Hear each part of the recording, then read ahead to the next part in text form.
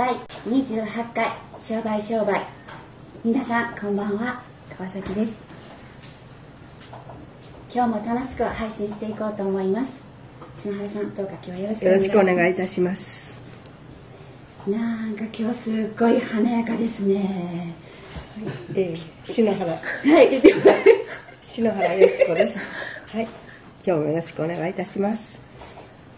今日は本当に今日はいなつもと全く違います。うん。はい、素敵なスタジオで、なんか全然別個のスタジオ来たみたいな気がしますそうね。なんですね。なんかん。前にえー輪っこのようなえ赤青黄色のようないっぱいあるんですけど、ー、後ろも。後ろもすごいですねなんかすごい今日は。すごいですね。鳥の羽が飛んでるんですか、すごいですね。はい。はい。じゃあそそしたら2人の紹介よろしくお願いしはい、わかりま、ますした。はい、まずフラワースタジオ優香福永真由子さん、香川県高松市東山町からおいでいただいてます。東山崎町ですね。申し訳ありません。電話が087-813-4471です。事業内容が完全オリジオリジナル商品を作成販売卸ブライダル関連会社総括店舗デザインスディスプレイ。販促媒体のデザイン制作。などです。グレイシード。福井由奈さん。香川県綾歌町。綾川町か。滝宮からおいでです。電話が080-4038-0287事業内容がヘアアレンジメイクアップインストラクター着付けエステイメージコーディネート健康アドバイスカラーコーディネートされています。はいどうかよろしくお願いいたします。お願い。します。まず最初に福永さんの方からお話をお聞きしていきたいと思います、早速これその今崎そうですね。えっ、とお仕事の内容をお聞かせお話ししていただけますか？はい。えー、とその高松市東山崎町にアトリエを置きまして、えー一般的には、えーお花の教室ですね。フラアレンジメントの教室をやっておりまして、えー私個人の活動としては、えーフラコーディネーターですね。大きく言いますと、はい。まあ、ブライダルを中心に。なのでこちらは、えーブライダルブーケになってますね。映ってないけどはいブーケを、えーディスプレイに使わせてもらってます。はい。はい。とえー、とお店のえ、え。ーディスプレイもそうですし、あの反則媒体も作ったりもするっていうふうに書いてあったんですけど、ご紹介いただいたんですが、はい。あれは実はあのある、えーお店の商品ええ。新しい新商品を売り出すのに、ええ。えーディスプレイをするというか、まあ、それをイメージした、ええ。なんかオブジェを作ってくれと言われまして反則媒体っていうのはそういうことですね。あそうなんですか。はい。はい。なので、えーっとツア堂さんええ。に花鳥風月っていう新しい商品が去年出てるんですけれども、えその花鳥風月を、えーの反則に関してええ。一つ色を添えようということで「花鳥風月」というタイトルえでえオブジェを作りました、今お店にありますね。ええ。ーもう今お聞きした、えー、と反則媒体、なんかすごくあの、難しい。うん。大変あのなんかね。あまり普段では使わない 言葉で。ええ。それはよく。いえいえ初めてでした。初めてで、初めてですね。もう通常は普通お花屋さんっていうと、お花をやってる人っていうと、まあ、普通にあの結婚式のお花やってたりとか、まあ、一般の消費者の方から頼まれることが多いんですけど、ええ。えーその時初めて、えあの新商品が出るっていうその商品をプロデュースされていた方とたまたま知り合いだったんですね。あので、まあ、福永そういうの得意そうだからできるかいと。うんそのまあ、その商品を目立たせるためのものですね、うんハンド媒体っていうの。は、よくデパートの,、ええ。あの季節が変わるとこうバーッと生け込みが変わったりとか、ディスプレイが変わったりする、その反則媒体っていうのはそういうものであったりとかそれを売るために、ああいう文字が出てたりとかその、えキャッチコピーの隣にあるなんか立体的なものみたいな感じですかね、なんかそうやってお客様の引きつけなくちゃいけないじゃないですか。そうですね。すごくね、うんなかなかできないよ誰ばりはっていう感じはしましたがね。この字見て私もびっくりしたんですよ。そう私も。繁殖媒体うわ、すごいな。はっきり知らないかったんですけどもね。かなり難しいお仕事だなとは思って、うん。あれしたんですけどね。それであのアーティフィシャルフラワー、これはちょっと普通の人はちょっと分かりにくいかなっていうんでそのご説明ね、うんあのいわゆるアートフラワーとか、えーシルクフラワーとか、えーと造花いわゆるビニールで作る素材がビニールの造花っていうものを、のその質がですね今すごく良くなってるんですね。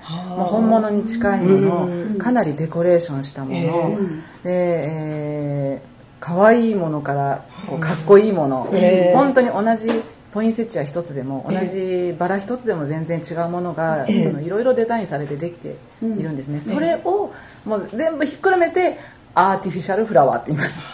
アートフラワーではなくてアーティフィシャルフラワーですね。だからあの図そうですね歴史のある例えばアートフラワーって言って、えーとこう花びらから作る、色を染めて、花びらから作る。私のお母さんがアートフラワーしてたわっていう方、とあの時々いらっしゃるんですけど、そのお花この花自体を作るところからしているものも含めて、アーティフィシャルフラワーですね。なかなかね、あの下を噛みそうな あのあれなんですけどもね。ね。うん。ねえ、うん。とかあの和物を使ったあの西陣織のなんか。そうですね。ねあのまあ実はこの後ろに、えーとディスプレイさせていただいているのは3月に作品展をした時に、えーちょっと使わせてもらったものを今日はちょっとあのセットにと思って、えーと用意させてもらったんですけど、その時に一緒に発表させてもらったというか皆さんに見ていただいたのが、えー、とこの西陣織を使った、えーこれはリングピローなんですね和のリングピローになります、えーリングピローといえば、もう普通のその四角い座布団のような形のものにちょっとリボンがついたり少しお花がついたりっていうのがもう一般的だったと思うんですけれども、和の、えー挙式の中でも、えーリングピローって要求されるし和物を作ってくださいっていう要望もありましたので、まあ、せっかくですからあの西陣織がもう本当に綺麗なので、えーこれを、えーリングピローにして、でしかもその後いかにもリングピローっていう形にしないで、いつまでも飾っておけるように、その後はこういうふうにあのななななんだろうこういう台を置いたりとか、ケースの中に入れたりして、いつまでもその時の、まあ、感動だったりとか、はい、思いを、えー忘れずに、いい形で残しておけるようにということでこういうのを作らせていただきました。素敵。やな素敵ですね。あと水引きちょっとどんどん。あすいません。でこれ実はあのしめ縄を元に創作したものなんですけど、ええー、と水引きが今とっても綺麗なんですね、いろんな色もありますし、あのいろんな形が出来上がるので、せっかくなので、えー水引きを使ってしめ縄を作りまたあのこういうふうなアートも入れながら、え面白い形も入れながらで、これはを、まあ、日本のもの、まあ、海外の方にも喜んでいただきたいなと思って、あプレゼントしてもらったら嬉しいかもねなんかあの四季を問わないじゃないですか。あそうですね、うんはいね四季ずっと通してうんいけます。いけます、ね。まあ関係ないですこれに関してはしめ縄なのでお正月っぽい感じはしますけでれどももあの普段あのね、お正月以外の時でもそうですね。あののね。とか。お玄関とかね飾飾って。も。うん。そこがいいですねでもね、うん。四季問わないっていう。う、ん。うん素晴らしい。もう素晴らしいとしか言いようがないんですけど、この前にもこのこれがすごい今気になってるんですけど、いくつものこのあ触ったらいけないか、いけないんですよ。触って大丈夫触ってそうこれ大丈夫ですね大丈夫ですね軽いあどれいいですか軽いすごいですね。綺麗。ねそれに綺麗。すごい綺麗です。ねへえ。じゃあ、あの、ほら、成果もプリザーブ、いろんなことされてるじゃないですか。そう中で一番、あの、多く、お客様の要望があるっていうのは、どういったもの？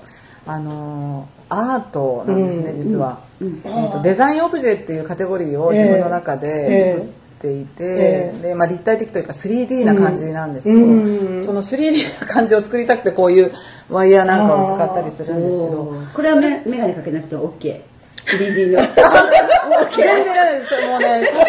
写真これは撮るだけだけ大変実際ですからね。実際あの映画でですからね。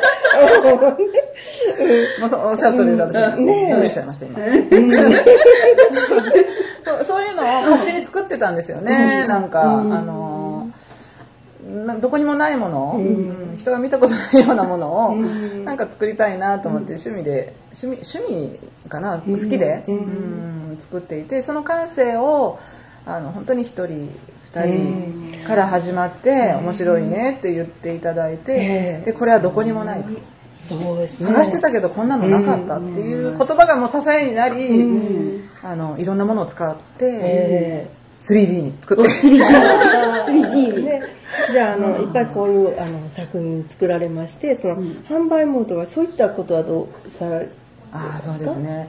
あの1対1というかもうこじんまりと、えまあ、宣伝力もないのでやっていて、あとまあ今現在もそうなんですけどお店を持ってないので、なかなか発信って難しいんですね、うん。販路って難しい、で、まあ、お花をやってる人もたくさんいますし、あのフラワーコーディネーターって言ってる人もたくさんいるので、なんとかと思っていたら私は特にあの今これですね、この和の部分っていうのは特に得意分野ではなかったんですが、なぜかあの要求されて作る機会が多くなってしまったんですね、で、まあ、ある時あの着物を着てパリに行ってあの、ベルサイユ宮殿歩いてたんですけど、本当に着物ってやっぱり外国人の方からすっごく目立つんですよ、もう帯の模様なんかは、もう特に本当にここだけ写真撮らせてくださいって言われるぐらい、もうあのアメリカの学生、パリだったんですけど、アメリカの学生に囲まれ、あこんなに外国の人は海外あの日本のこの西陣織とか水引きっていうのはすごくアートで綺麗なんだなと。思って、なのでそのこの豪華絢爛な色合いと、この和物この美しい西陣織を何かこう使ってできないかなっていうので、まあ、もちろんこういうのを作り始めたんですね、なのであの販路としてはまあまだまだこれからなんですが、海外の人に喜んでいただきたいと思いまして、あのこの西陣織この創作ものが、うん、海外のその、まあ、ヨーロッパなのか、ニューヨークの方アメリカの方なのかまだちょっと決まってはいませんけれども、そちらの方へ、えー流すことができればなと思っている野望です。すいません。じゃああ。のそのどうかねもっといろんなところへ宣伝？いろんな形でしてこう広げていきたいっていうご希望は？あもちろんあります。よね、はい、そういう意味ではあります。それは実行何かの形で今されていますか？やっと動き始めたところですね。すいません。あの自分の得意分野と何が売れるかっていうのが分からなかったです。みんな結構和物してくれって言ったら何でもできるし、あの洋物してくれって言ったら何でも。ほとんどの人はやっぱりお花を習ってお花屋さんをやってる人はもう言ったらもうできます。できます。できますけれどもそこで一味違うものを作っていく一味違った販路を作っていくっていうのはもうこれからだなっていうところで。うんじゃあなんかあの独自の独特なものを作ら作っていかれたいっていうそういうこう発想とかね、そうあのすごいじゃないですか、そういうのはどういったとこから出てますか？あの実は、うん。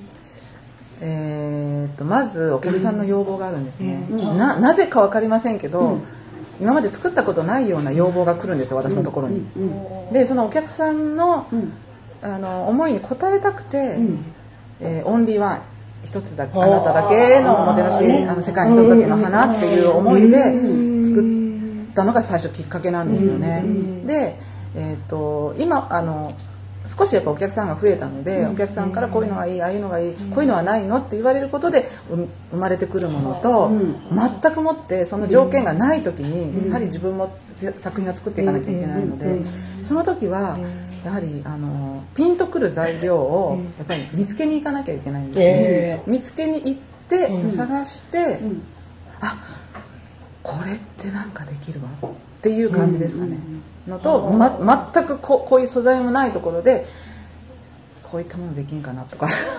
そういうのもありますけど、今大きくは2つですね、ええ。素材を見て、えこれ、うん、活かせるこれを生かす立体は何だろうものは何だろう商品は何だろうっていう。宝探しですね。毎日が、あそうかもしれません。だから、そうですね。私、あのさ先ほど、私はこういうことをしてますって仕事で、ああしてこうしてって言いましたけど、結局は、想像し続ける人だと思ってるんですね、え。あの想像作る作る作るのね方はい。ね、作り続ける人想像し続ける人ですっていう感じですね、宝探し。あいいこと。宝探しね。人生の宝探しです なんですよ。人生ねかかってるから。なんですよ。あそうそうおっしゃるありがとうございます。お作品がある。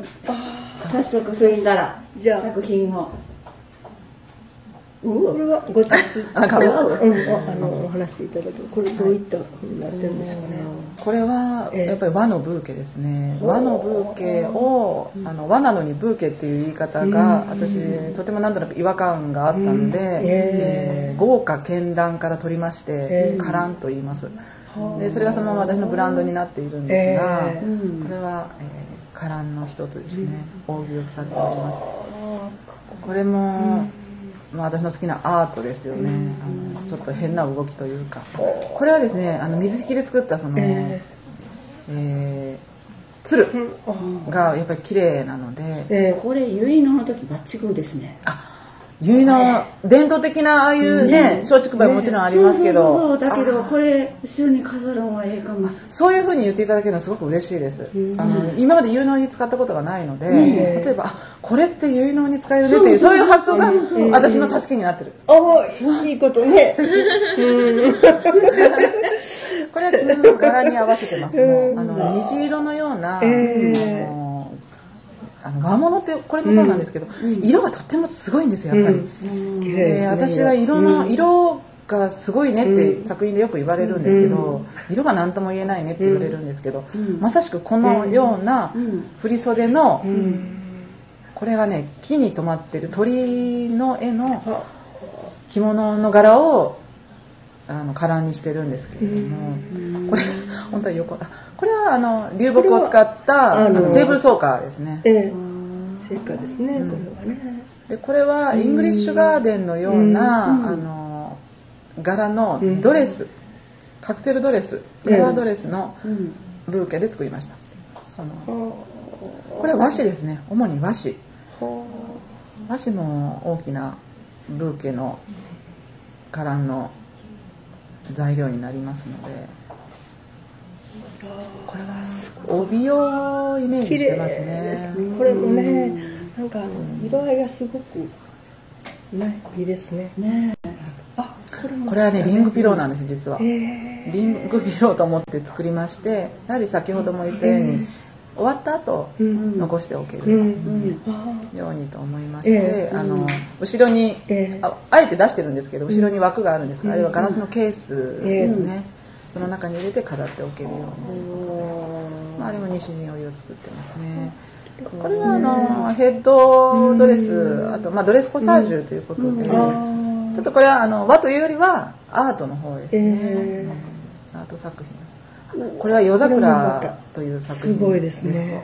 まあ、東京の上野公園で見た夜桜がもう本当に美しくてもう時が止まったような感じだったのでこれ作品展の時の。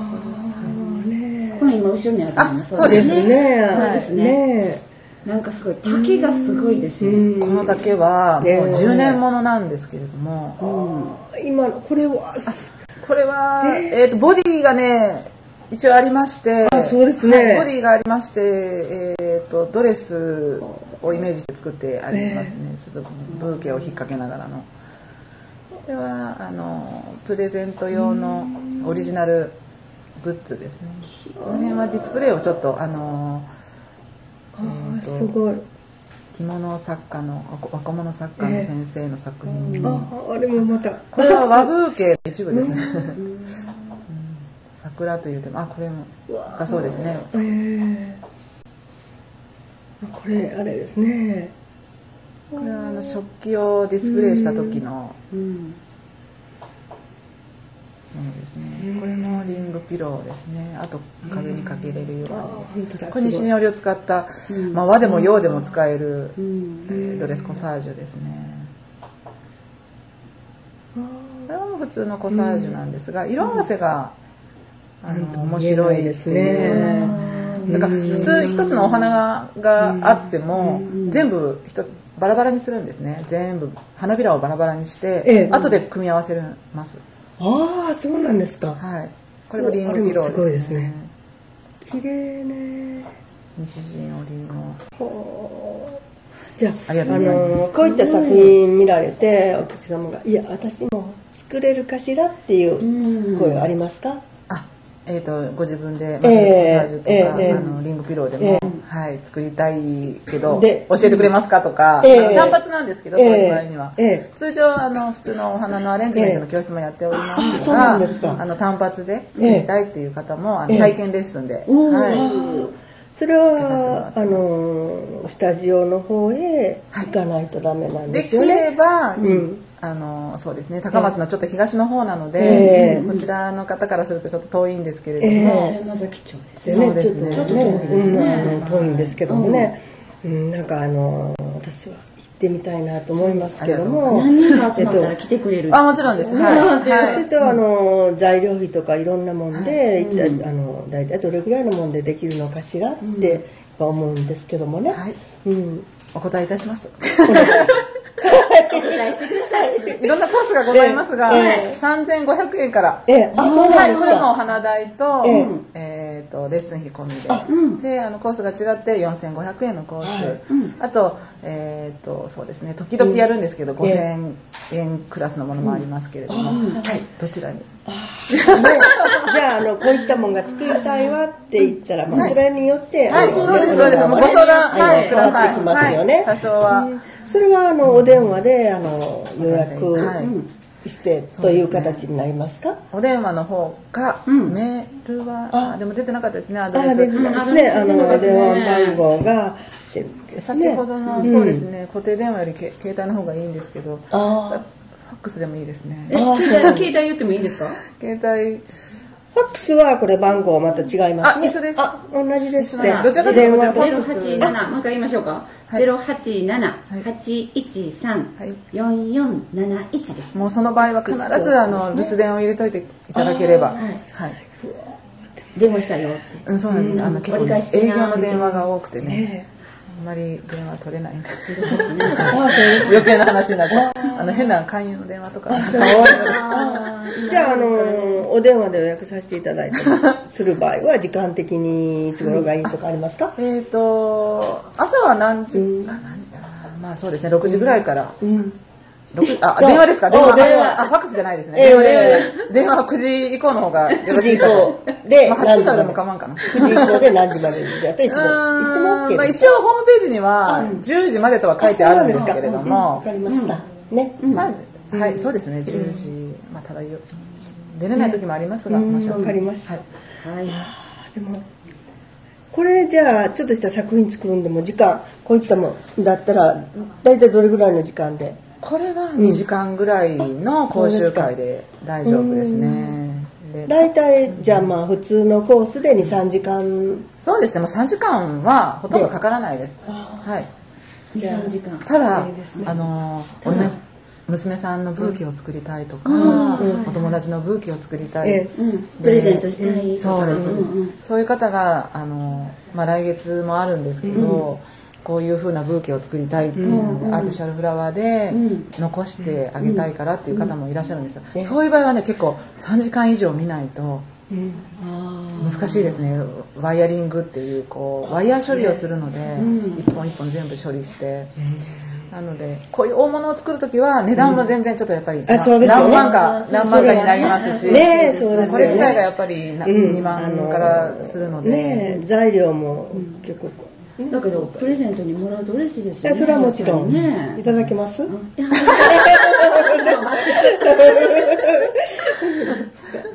ね。うーんじゃあもういっぱいお話そうやなしたいんですけどもね時間が来たので、まだまだあれだったんです聞けどね。ぱいあるんですけど、じゃああのお二人目でグレイシードの福井ゆなさんにくお願いします。お願いいたしよろしくお願いします。ますじゃあ一応お仕事内容事業。授業内容は、ええ。ー基本的にもうフリーで活動してるんですけれども、えうんこれっていうふうにくくってしまううん仕事ではないんですね、ええ実は、えあのもともとエステティシャンから始まって、えそれが自分って何をやっていけばいいんだろうっていうことから始まり、うん。でメイクの世界に入り、えでメイクからどうせやるならインストラクターうん。の方になろうと思って、でインストラクターまで行ったらやっぱりカラーが必要になってきて、でカラーのコーディネートの方の資格も取りつつ、でやっぱり人に触れる仕事なんで、その施術中に結構いろんな悩みをこう 言ってきてくれるお客さんがすごく多くなってきたんですよね。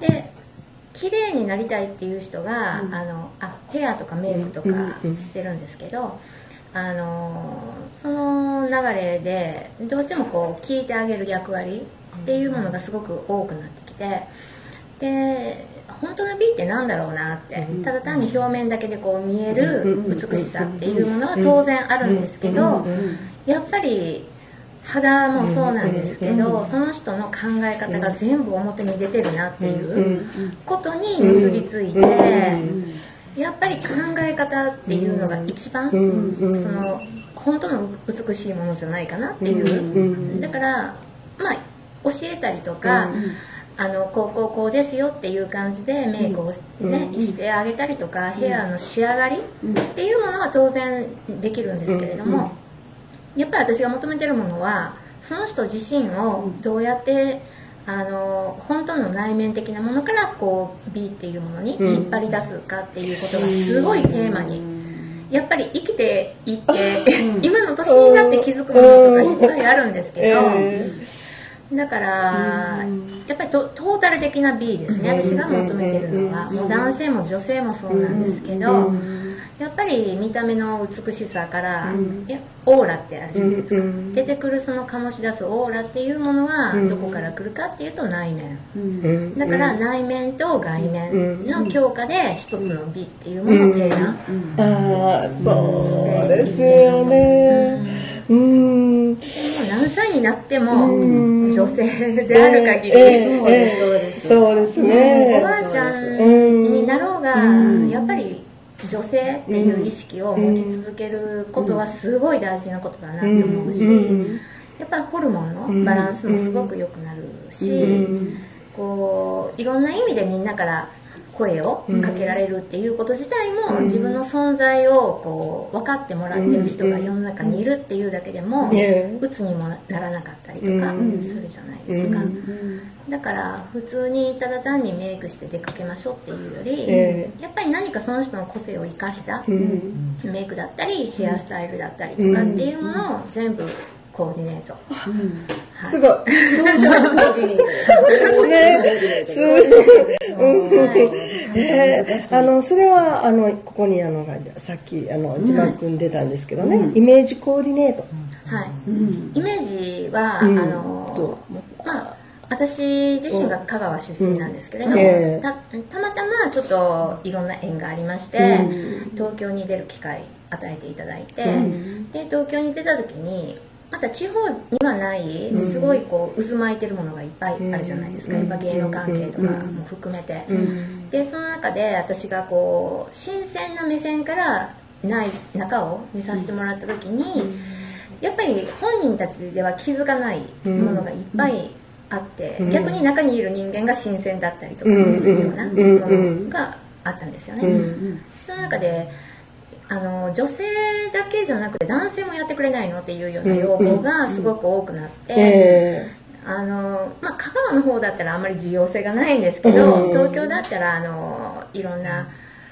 作家さんだったりとか、ええ。政治家の方だったり、あの講演される方、舞台に立たないといけないような人、そういった方々のあのコーディネートが、男性特になんですけど、あんまりこう しっくりと？うん。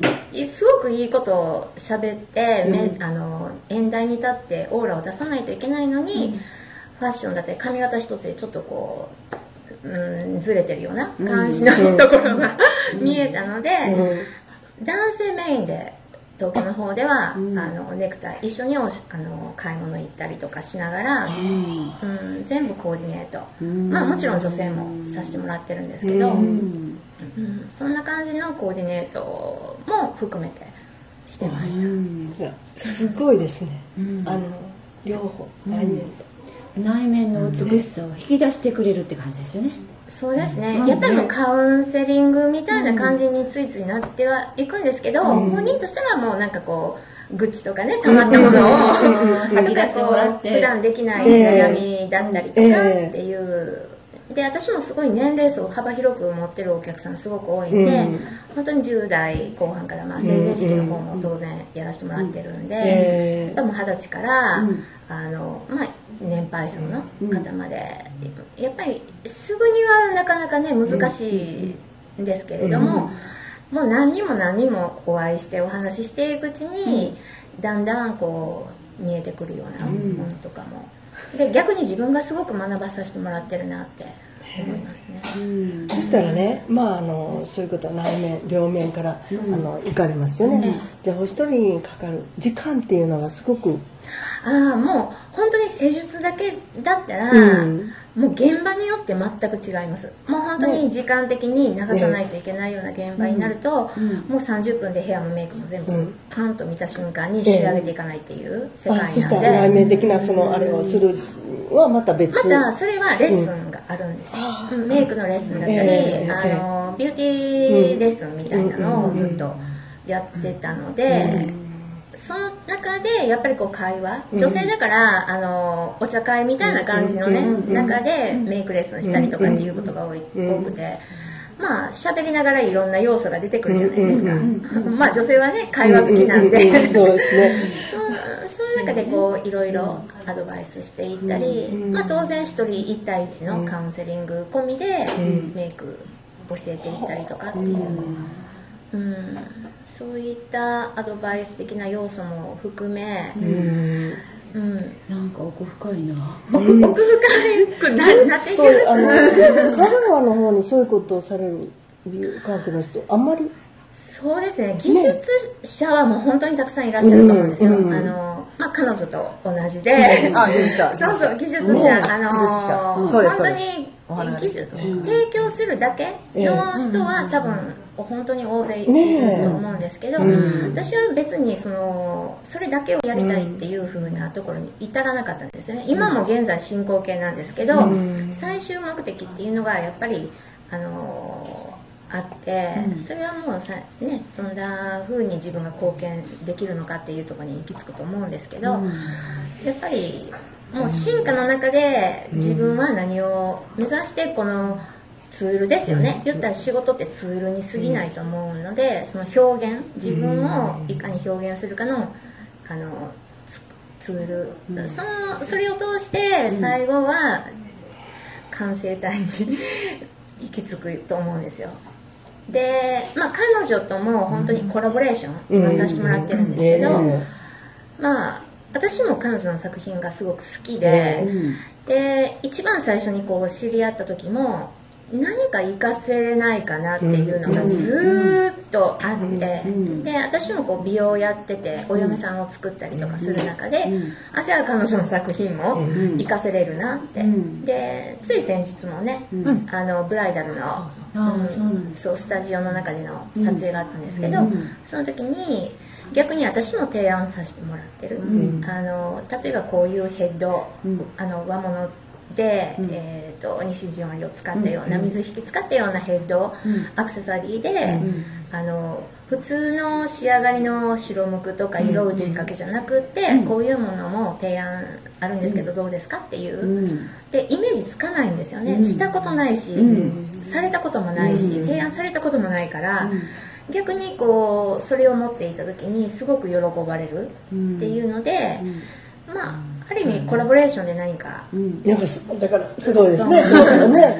私は誰かを引き出すっていう役割、ええそうそう技術者でありながら、うん。うん。あのそれにプロデュース的なそう要素。プロデュース的な要素の中で、うん。まあ、今後もそあの、ええ自分それぞれの活動もありますけれども、ええあの何か一つそのうですねものを形にしたりうんしてその向こうにある思いを実現していきたいなって、でさっき彼女がこう海外に向けて配信とかっていうものも言ってた中で、うん。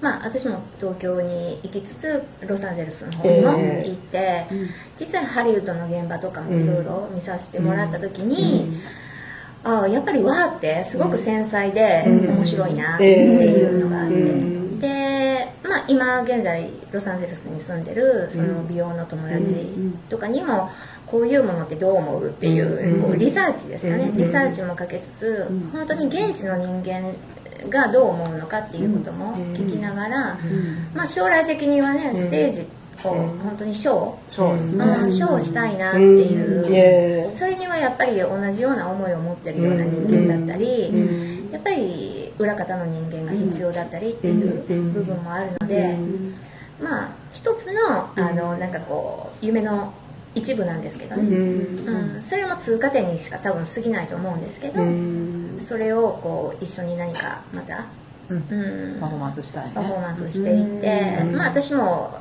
実際彼女ロサンゼルスの方と話をしながら、彼女も同じ思いなんですよね、あのショーなんかやりたいねっていう、うん。だからこう日本のものをいかにこう私たちの技術を持って海外の人に知ってもらえるかっていうことも一つの手段です。すごい伝統芸能の技術を持っている、水引きを作るとか、水引き細工を作るとか、西陣織を織るとか、それだ着物を作るとかだけではなくてその向こう側にあるまた新しい形のものですよね、それを、ねあのすごいですねその部分ではうん。ちょっとしやりたいねっていう、ねえもう本当に。いつになるかねまだ全然決まってはないですけど、えまあそこがある本当のでに個々個々の仕事はそれぞれなんですけど、えでも常に誰かと何かを引っ掛けてややりたいなっていうのが、もうピンときたら、なんかこうね、言葉にして。どう言葉にしないとわからないじゃないですか、それが失敗したとしてでもやろうとしてみるこう、心構えの方が大事かなって、うん。なんかあの商売抜きのあれでね、こういうお話ね、なんかね、あの直接の商売というよりも。はね、そうですね。それが最終的にそっちにつながっていくような形うん。になれば、そうですね。もっと例えばこんな人がいるよっていうのがひょっと出た場合に、うん。それこそ今は目に見えないけどコラボレーションで何かもっと大きなものになるかもわからないし、あのそうやって言ってたら例えばこんな人いるよとかって紹介していただいたりとか、縁が縁を読んで。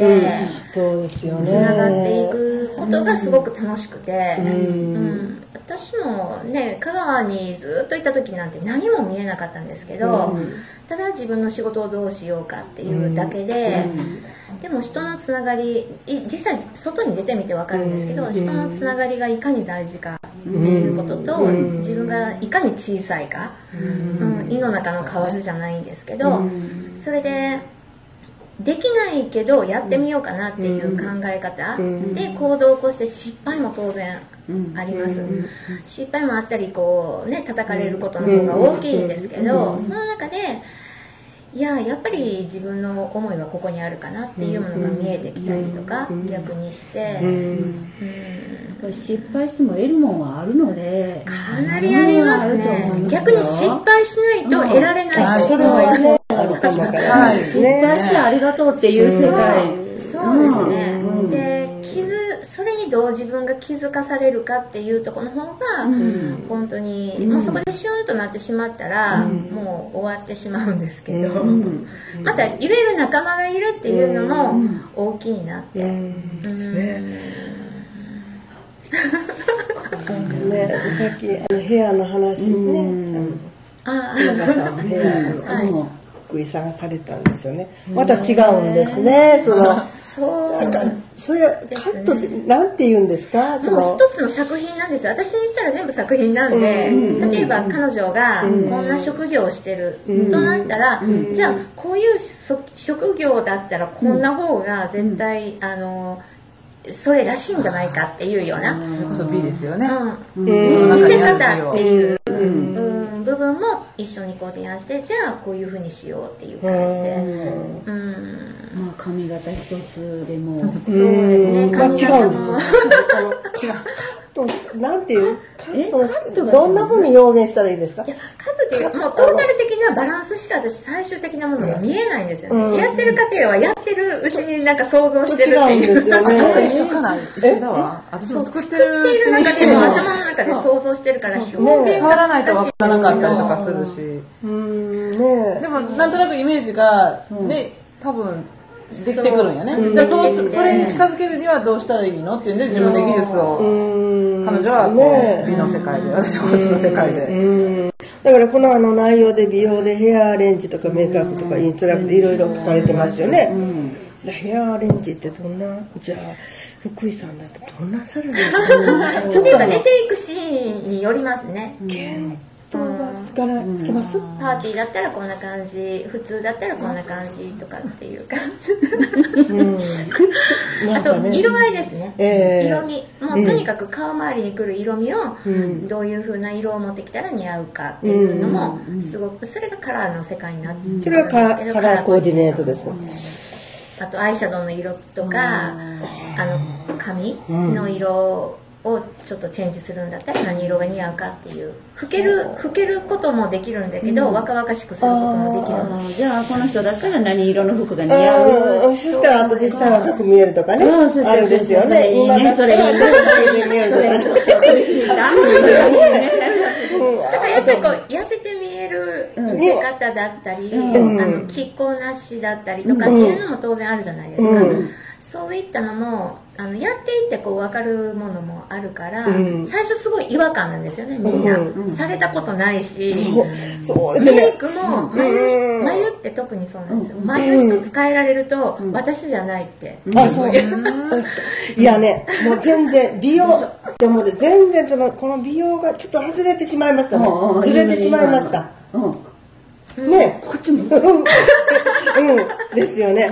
うんじゃあこれあの、まあ、部屋の方していただきたいとしたら。てかまあアレンジになりますね。私の場合はほとんどアレンジとか、あのアドバイスですね、うん、あの直接触ってっていうこと自体をする場合もあるんだけど、うん、ほとんどアドバイスで、うん、あの髪を言ったりとか、その今ある状態から思い切ってチェンジ、ブローですね、ブローでチェンジしたりとかっていうことでイメージを変えたりとかっていうふうにする提案が私の主な仕事、うん、そしたら、それをあの提案を受けたいって、えどちらの方へお伺いしたらいいんですかね、この電話番号で、はい。でこれは滝宮の方あ私の直接もう仕事用の携帯。ええであのおお店会社は？あお店は私もフリーランスでやってるので、ええ、呼ばれてもすぐそこの現場に行くことが多いですあそうなんですか、うん、あのレッスンとかはあのーうん、何人かまとまったら、そこの場所をそれぞれ行って、ええ、あのだ大体グループで受けられる方が多いんですよ。友達同士だったりとか何かの会社のあのイメージ的な社員教育の一環だったりとかそういう感じで出向いていく場合の方が多いですね、うん、ちょっと携帯必要よ。080もう一回言おうかはい。080-4038-0287です。そうです、はい、ここにお電話したら、ね飛んできたイメージがなかなかつかないあの全然あのこれねいや美容のこのお仕事のこのあれ見てねいやいや、全然、ね。全然あれやから。いや、あれって思って、これ、トータルプロデュースですね。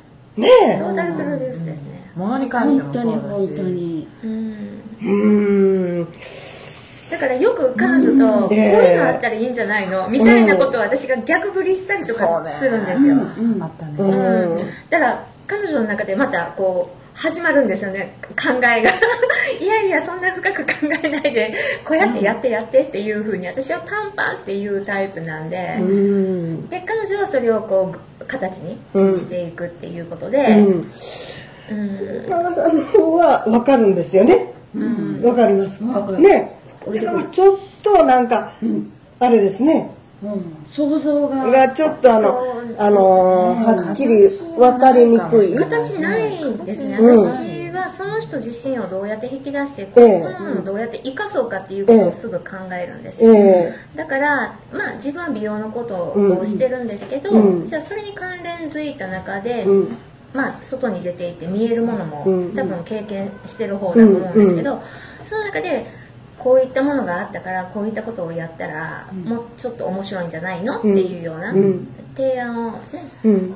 ほんだら、あの、まあ、あの、イメージコーディネートの方が一番なんか強く残るんでそうすけど。ですね。イメージコーディネーターだったりもう本当にトータルプロデュース的な感覚で、ねえ。うん、人を生かすっていうようなところにうん。最終行き着くうん。感じもありますね、じゃあ、あの、お客様から、この、あの、お電話いただく場合、どういった感じでお電話を受ける？あまあ美容のことにも関してそうだし、うん。あの自分のものをどうやって生かしていったらいいのか分かんないとかっていうようなことを、わ分かる分野でしたらね、ええ。うん。わからん。ことがあったね、私。それだったらこの人とこの人をつないだら、面白いことになるんじゃないかっていうこの人とこの人つないでどんな面白いことになるんでしょう。か まあ持ってるものにとかねいろんなものによるんですけど、とりあえず電話してお会いして、その人のそうですね、うん。お話いろいろ聞い内たしながら、まあ何がしたいのっていうところは必要ですね。などういったところを求めてるのっていうのは多何をしたい分のかっていうのがええ。一番じゃあまああの主婦の方ただ結構漠然と生きてる人が多いじゃないですか、ええ。何かをね。そうそうそういう。そうもう当然そんな人がが何かをしたいっていう場合もあります。で、話している中であ私結局これしたかったんだっていう、うん。それだったらこんな人知ってるから、うん。あのいろいろ、うん。でその前にあのどうせだったらね、あの自分もん。いろいろ改革していかないっていう提案から言ったり、じゃあ大体こうメイク直したいとか、もう少しあの若々しく、うん。それはわかります。はいしたいっていう、はい。ええああね。で自分が綺麗になると、ええ。ポロポロ出てくるんですよ、うんうん。うん。今までとなんかこう家に帰った旦那さんが「あれ?」って、うん。言ってくれたとか、あそういうになりたい、いいねですね、うん、あそれは私嬉しいなでも。なんかこうマンネリ化からうん。どうやって脱皮したらいいのかが分かんない人が多いのわかんないです。わかんないです。でうん。じゃあこういうふうえにえちょっと表現を変えてみるだけで、ええ。あのね、うん。お母さんから女性に変わるじゃないですか、ええ。うん。だから今はもうあ本当にかあの普通主婦は限られた人じゃないですか、うん。ええだけど進歩ってあまりないんですよ、いや他の人は分からない私の場合は、うんうんね元気ですよねいや他の人もあるけどね、うん、あーすごい。いやでもすごい奥が深くってちょっと分かります分かり分かりにくいと思います。えわあの正直申し上げてちょっと分かりにくいところが、いや作ってもらったら分かると思うよ。私もわか私も分からなかったです。そうですか。うんさっきも言われた。作ってもらったら分かる。あそうですね。イメージコーディネートを受ければ。そうそうですね。え。例えば、うん。あのーそういった方々ばっかりで集まったショーをしても面白いんですよ。あ逆に、あの別にステージが高いもんだけを作ろうとしてるんじゃなくて、うん。表現する場所がすごい少ない方ってすごく多くて、えもう同じマンネリ化の生活、ええそこからちょっとなんかこうね、ええ。自分を、あの違った表現の仕方をしたものを人に見てもらわないと始まらないじゃないですか、でもそういうあの希望を持ってる人はいっぱいいますよね、多分ね、だからちっちゃくてもいいなんかそういったもので自分らしさを、うん。うん表現してこう記念ですよね、言ったら記いや念なんか誕生するみたいで嬉しいですよね。うんうんうん。こう生まれてきてこう。そうそう。目覚目覚めます目覚めますね。ねえ。でも福井さんって素敵ですね、本当に。私も誕生しようかなもう一回。誕生 はいみんなでやりますか。あみんなで。で旦那さんとかお子さん呼んでね。でも香川で田舎でなかなかそういうあれは、香川ですよ。香川県ですよ今ここ。ないですよね多香川分県ですよ。ねだからなないから、うん。当たり前じゃないけど、うん。作っていったらまたそれがこう面白いええ。発信になったりもするかなっていうのはうーん。そうですよね。あのマニュアルがあるものではないそうなんですようん。この枠の中で何かをしなければならないとか、うん。これがあるからこれをじゃあ皆さんやりましょうっていうものじゃなくて、うんこんなのがあったららいいな彼女と同じなんですよ、うん。こんなものがあったらいいんだけどっていうことから組み立てが始まるんですよね、私も。ごめんなさいどこでもドアが出てくるんです その発想が面白い。ねですその発想が面白い。本当に。それだったら、あこういったものも組み合わせてあこういったアーティストの人とまたやってっていうもので一つのものを作っていくっていうようなものも B じゃないですか見せるっていう世界なので美容家だと思って思いながらそのバッグにそれをフィルターに置いてはお話聞いてると私も最初分からなかったんそうなんですよ。もうね。だけど、うん。結局そのそれを通して、うん。彼女は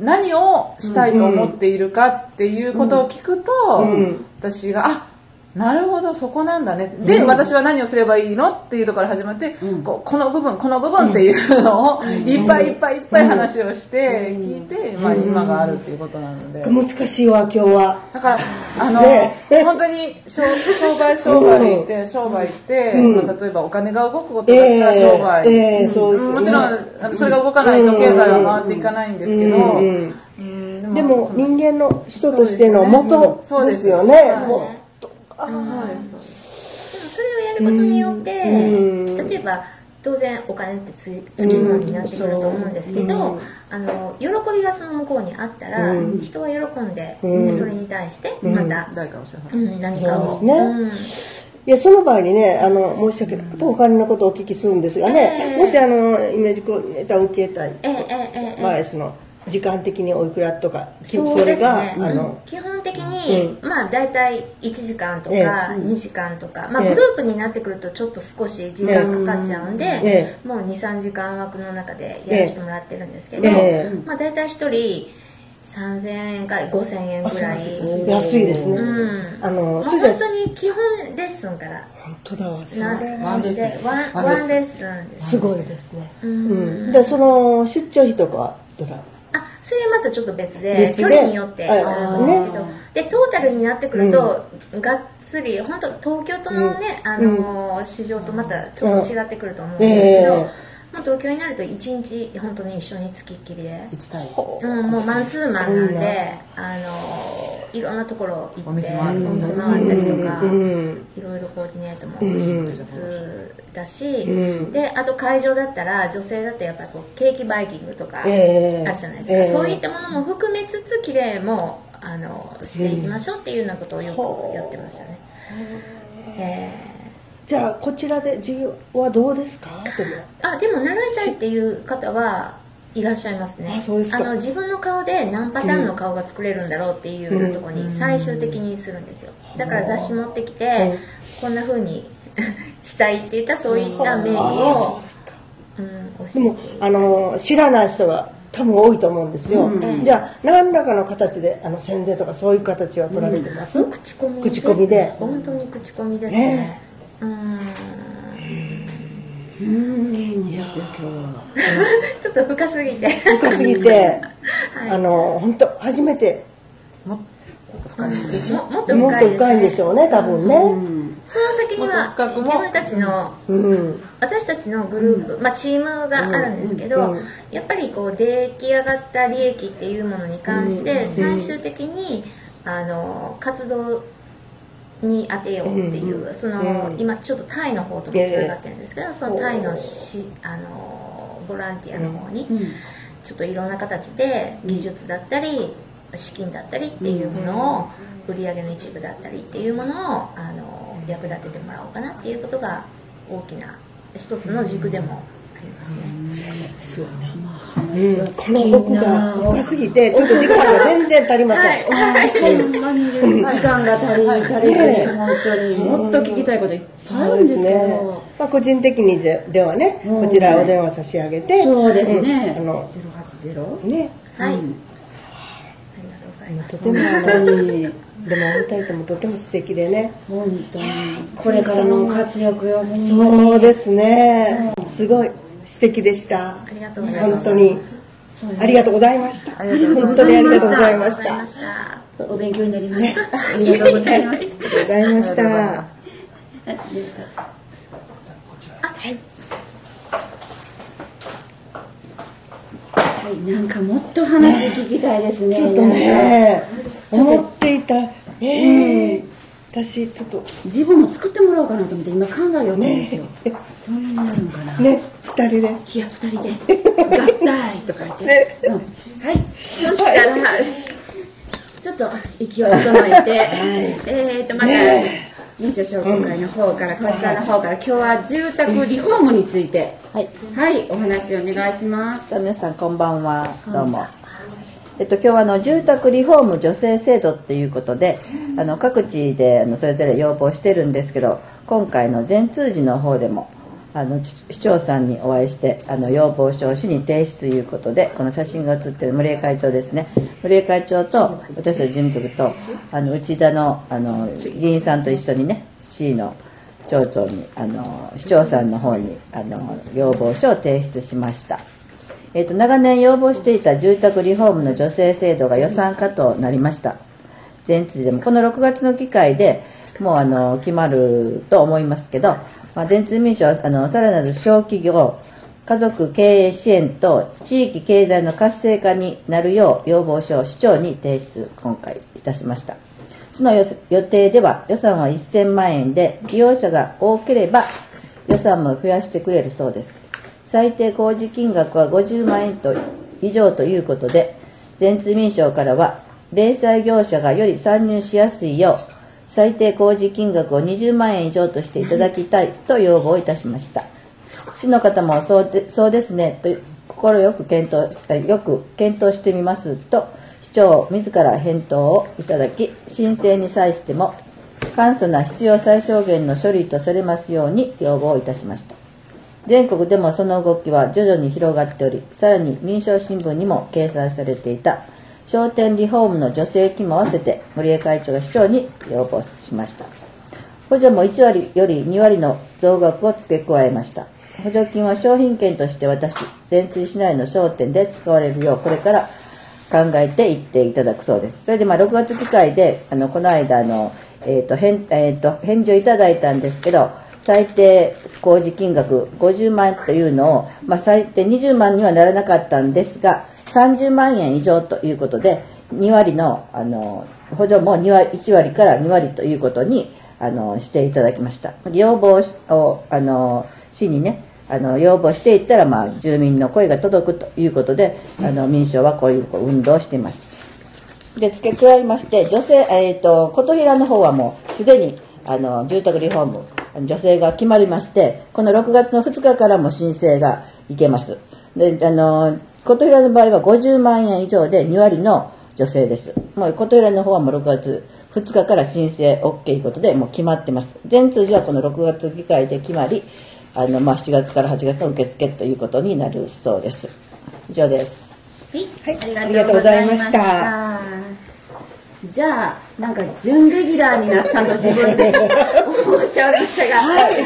つも合田さんより今日はまた何の告知でしょうか、よろしくお願いします。えーいつもいつもっていうことなんですけど、はい。まだ雑貨屋さんの、はい。はい。イベントです、えーこの日曜日6月1日に、えー、間取り絵未来館丸亀の方で、えー行います。